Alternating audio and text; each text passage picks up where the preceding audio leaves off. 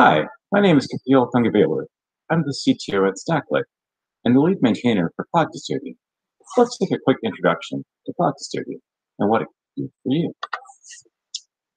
As organizations adopt the cloud, the path to being well managed involves many different responsibilities and areas of concern that have to be addressed, from security to compliance to operational excellence and cost optimization.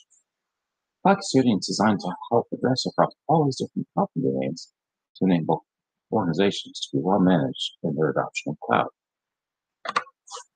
The cloud enables developers to use a rich ecosystem around their APIs with many different tools, from Terraform, Kubernetes, to direct integration with application code, and all these different technologies and tools enable a rich ecosystems that for application and developer productivity.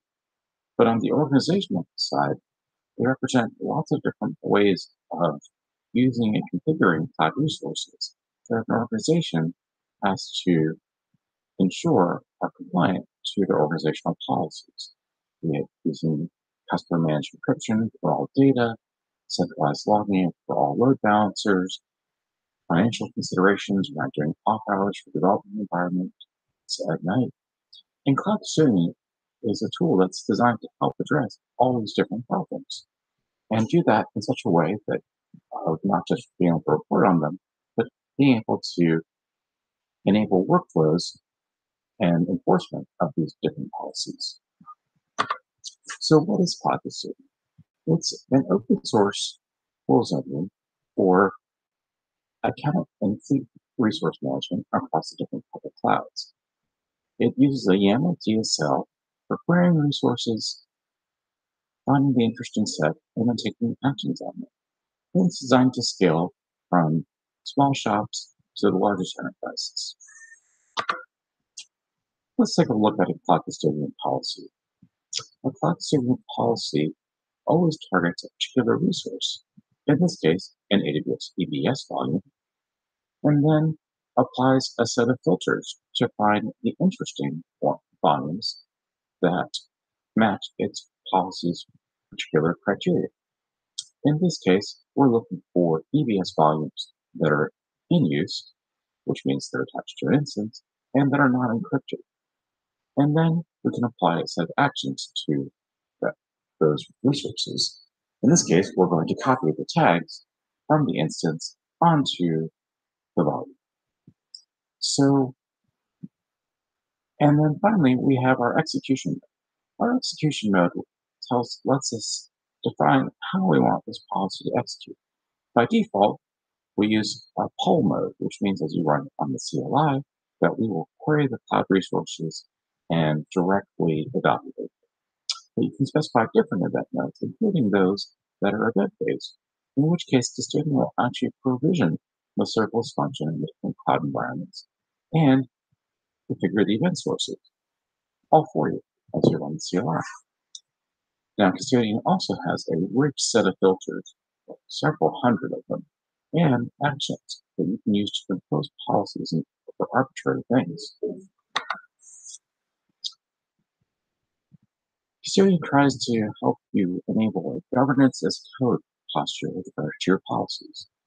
Typically, author policies in Git, the code review, apply some CI to them, regards to doing dry runs or schema validation, and then go to execute them on the machine.